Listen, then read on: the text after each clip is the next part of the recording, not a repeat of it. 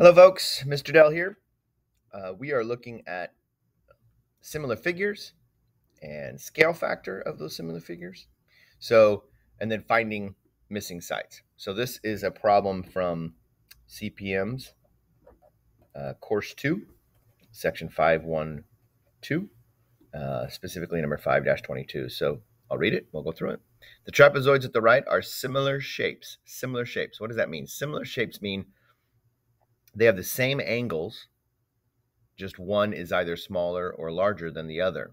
Same angles, same shape, just either an if it's been enlarged or shrunk. So uh, we're looking at trapezoids. So it says, here's my trapezoid A, trapezoid B. It, it wants to know what's the scale factor between shape A and B. Okay, the scale factor.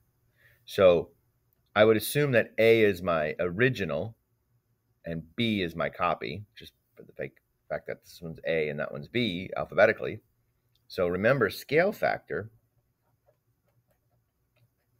is always taking a corresponding side of the original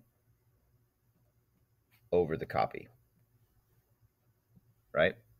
So I want to know, I'm sorry, I that's not right. It's the copy over the original. Uh, I had to think that one through. There we go. So it's the copy over the original. Uh, so it's it's looking at the growth. So my copy is B. So in this case, my scale factor is going to be abbreviate scale factor is going to be something from B over A, right? One of the sides of B over A that's going to tell me my growth, right? What is the growth? So we look at a corresponding side. So I've got 15 and X are corresponding, but X doesn't give me anything because that's missing right now. I got to figure that one out. I've got this 18 and Y are corresponding, but again, I don't know what Y is. But here I have, these are listed, that 30 and 50, those are corresponding sides, right? They're the same side of the shape, just one is larger than the other. So I'm going to put 50 over 30, and that's my scale factor. And if I simplify that, which would be to divide top and bottom by 10, my scale factor would be 5 thirds. So what is this saying? This is saying that if I was thinking about A to B, how did I grow from A to B? I multiplied each side by 5 thirds. Or you could say 1 and 2 thirds if you wanted to, but 5 thirds is a good enough response for us. So it's one and two thirds larger. B is one and two thirds larger than A. Okay. So now that's my scale factor. So now part B says find the lengths of the missing sides. So I need to figure out what is X, what is Y. So if I know I have to take X and multiply it by 15, or excuse me, by 5 thirds to get 15, I, have got to figure out what that number is, right? I can look at it that way. Now that I know my scale factor, a couple things I could do. I could say, take 5 thirds, multiply it by x, and that should give me my 15. That's one way of looking at it, okay? So I can solve that equation for x. Or I could set up a ratio of corresponding sides. I could say that, oh, I know that uh, this here, this 30 excuse me, the yeah, 30 over 50 corresponding sides, 30 over 50 is the same thing as x over 15, right? Because the ratios would all equal to that 5 thirds or 3 fifths in this case because I've got them reversed.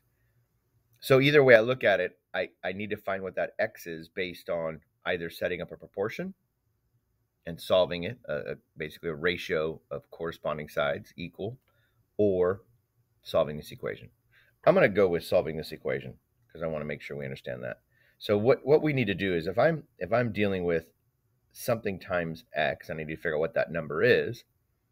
The the inverse operation of multiplication is division. So I would divide by 5 thirds, both sides, to determine what x is, right? If it's 5 thirds times something, then in order to figure out what that x is, we would take 15 divided by 5 thirds. And how do we how do we divide by fractions? We multiply by the reciprocal, right? So instead of 15 divided by 5 thirds, it's 15 times 3 over 5. Okay? When you have a fraction multiplied by a whole number, put the whole number over 1. You could just multiply straight across and then simplify. 15 times 3 is 45. 45 over 5. Well, that actually simplifies to be 9. So in this case, we just determine that x is equal to 9. Okay? That's one way of finding it. So we're good there. I'll, I'll, I'll move on to y now. How to find y? Well, remember my scale factors, I multiply a to get b. So I'm going to take a, which in this case is 30, and multiply 30 times 5 thirds to get y. So this one's already set up for us.